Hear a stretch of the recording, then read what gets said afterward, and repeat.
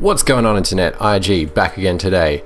Today, following up from the video of why Manjaro is so popular, let's take a look back in time over some of the biggest, in my opinion, releases of Ubuntu. To tackle that same question, what is it about Ubuntu that made it so darn popular?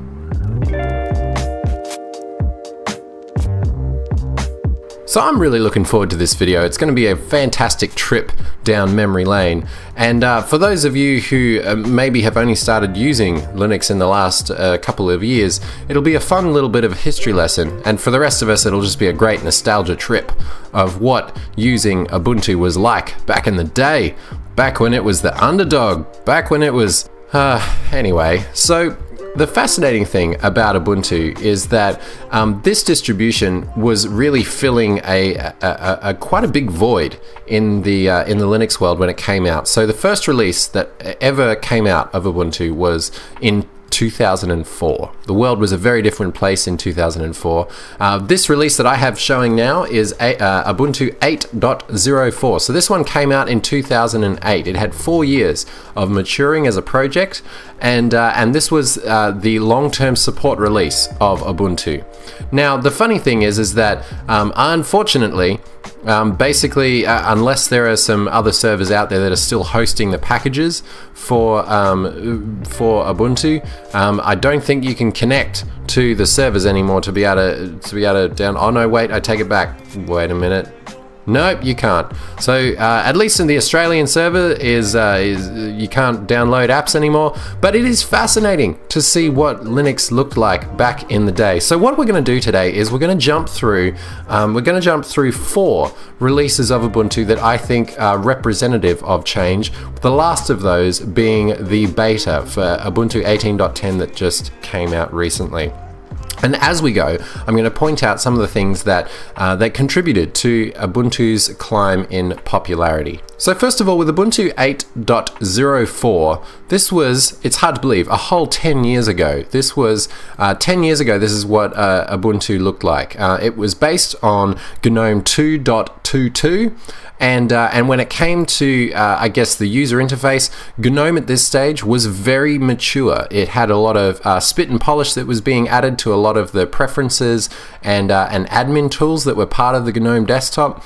The only major uh, hiccup that a lot of reviewers had against this distribution was the fact that it really struggled to authenticate against uh, against Windows uh, shared fo uh, shared folders on networks, so like Samba shares and that kind of thing. Um, but apart from that, it was a very mature, well-baked uh, desktop, and in a world where most of the Linux desktop was KDE 3.5 back around this time, and especially four years ago when Ubuntu came out, um, GNOME was a wonderful alternative that Ubuntu really championed, and it gave a very simple user interface to something that was previously quite looking quite dated and quite complicated. Um, the other fantastic thing that was introduced with Ubuntu Hardy Heron, and I would say very instrumental in, uh, and for me in particular, as uh, as a high schooler starting out in uh, dabbling in Linux, um, one of the uh, wow OpenOffice 2.4, what a trip. Yep, still looks exactly the same whatever. Um, but one of the big things that was instrumental in me trying out Ubuntu for the first time was Wubi. Wubi was the uh, was the installer that you would use to install uh, Ubuntu as an application inside Windows. So you would use an installer on Windows uh, that would create kind of a, a, kind of a dual boot scenario without having to do any um, risky partitioning or anything like that. It would uh, install it all from a GUI from within Windows, and then it would simply give you the option to uh, to reboot.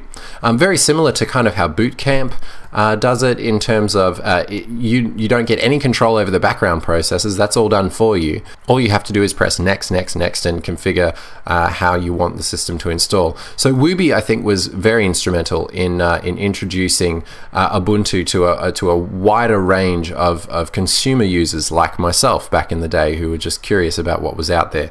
So Ubuntu 8.04. Um, the other big defining feature for Ubuntu 8.04 was the fact that uh, this was the first time that they introduced uh, Pulse Audio as the audio backend, um, and it's hard to believe that that was a whole 10 years ago. That uh, that they replaced the the main audio driver in Ubuntu with uh, with Pulse Audio.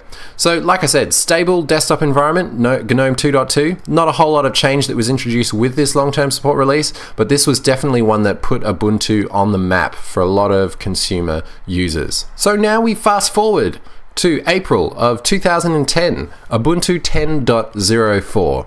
This was the release, in my opinion, that made Ubuntu transcend from a very much a geek project that looked very geeky to something that actually could potentially take over or take a mainstream market share. This was the first Ubuntu release that introduced the Ambiance theme, uh, and also it was the first release that bumped the window controls over to the left hand side. And boy, howdy, there was some kick up a stink about these changes.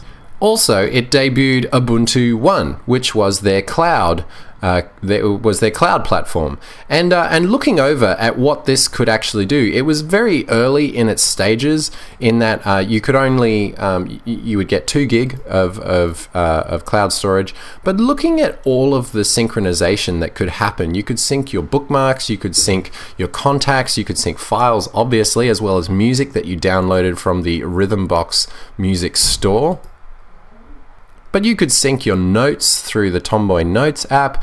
There was actually a lot of power and functionality built into this Ubuntu One cloud syncing platform, and I actually used it for quite a while. I was thinking this was the time where Ubuntu could make it mainstream and compete with some of the cloud based features that were coming out in Mac OS and Windows. Now, in a lot of ways, this release was representative of Ubuntu in a lot of ways uh, reaching peak popularity and uh, and when it comes to uh, I mean they, they were trying to integrate social media into the desktop they were trying to push the boundaries in terms of what this OS could do above and beyond uh, what what you know the current offerings of, of Mac OS and and Windows could do um, and and if you look, when it comes to the actual uh, popularity of Ubuntu in terms of its share on the internet, you can see that it was kind of reaching peak popularity as a search term in Google uh, between sort of 2009 and 2010.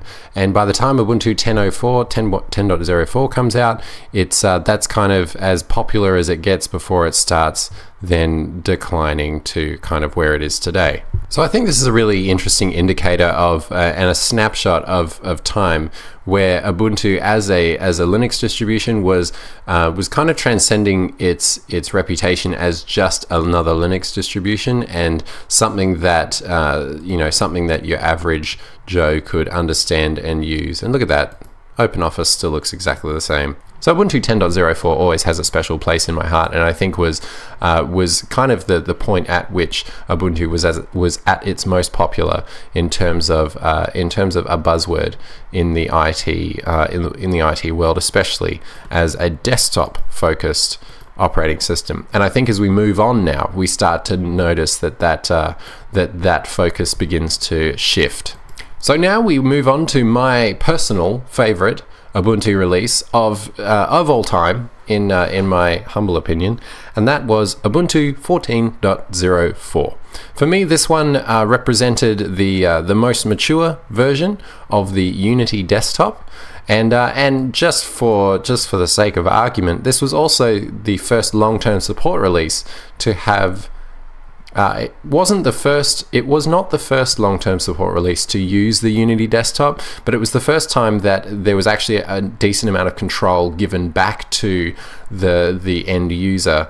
Um, over the Unity desktop. Prior to this, it, it, it debuted in, I believe, Ubuntu 10.10 as a netbook remix, and then by Ubuntu 11.04, it was the default uh, it was the default desktop environment. And, uh, and this was in response to a lot of the changes that was going on with GNOME 3, and they were trying to distance themselves or separate themselves from the pack in terms of providing their own desktop environment, and uh, that was going to suit their own goals. Now, the other interesting thing is, is that while the development of, of Ubuntu Unity by Ubuntu 14.04, while it had slowed down, there was a lot of work being put into um, being put into Unity 8 and also the Mir uh, display server and other bits and pieces that were kind of showing that the bulk of development going on at Canonical was going into future products that were definitely not desktop uh, desktop related.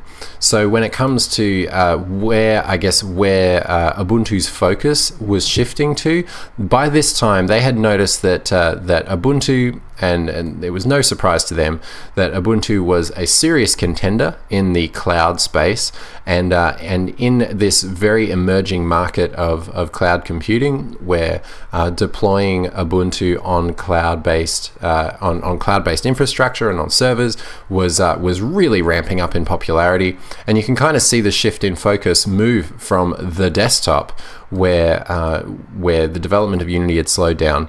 Two, and you'll have to excuse the visual effects here. For some reason, they're stupid laggy on uh, on 14.04 inside VirtualBox, but just hang with it. Um, and they had moved a lot of their development from that to focusing on the cloud computing uh, platform that that Ubuntu was uh, was really killing the game at, and they were also focusing on mobile convergence. And convergence was a really big buzzword that Ubuntu and Canonical was pushing as they were trying to develop a, a one operating system that could run on TVs. And do you guys remember Ubuntu TV? uh, and Ubuntu Mobile and uh, and the desktop and all of that kind of stuff. And that's what Unity 8 was going to represent, and that's what um, and that's what uh, other technologies like the Mir display server and stuff like that, or Mir, uh, was going to enable. Um, sadly, they didn't get there, obviously, because they just didn't pick up the the the amount of uh, user base that they were hoping for. But still, on the desktop side, oh, that's so laggy. Uh, still on the desktop side, they ended up with a very mature environment that had really great uh, integration with a lot of different cloud accounts. This was the first time that uh, that Ubuntu and the Unity desktop really properly supported high pixel density uh, displays, so everything would scale properly on modern hardware. Uh, sadly, it also marked the removal of Ubuntu One as a service, uh, and also it continued the grand tradition, which would which would largely get them a lot of negative press and lose a lot of their core base around the whole Amazon affiliate links and uh, and those being uh, those showing up in the dash. Now these started coming through I think in Ubuntu 12.04 and it generated a lot of negative buzz for Ubuntu as a desktop and uh, and so by the time we got to 14.04 a lot of uh, a lot of people had found refuge elsewhere. But also you got to realize that by the time 2014 was around, there was a lot of other Linux distributions out there that were focusing on desktop Linux first and foremost. Whereas uh, Ubuntu was spending a lot of R&D in developing these other um, these other alternative platforms, or the ones that were actually bringing, uh, you know, bringing in the bread for the company, which was uh, the cloud-based uh, platforms. So you can kind of see how Ubuntu's popularity on the desktop led to its popularity uh, eventually, I guess, in the cloud, and uh, and that continues today.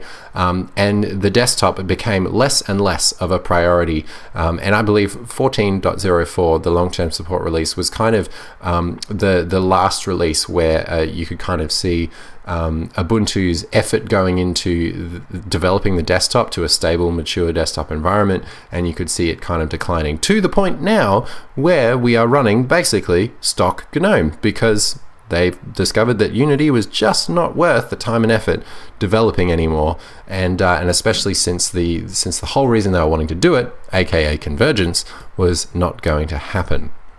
And that leads us to Ubuntu 18.10. And now we land in the present day where Ubuntu 18.10 beta. Oh, look, a crash.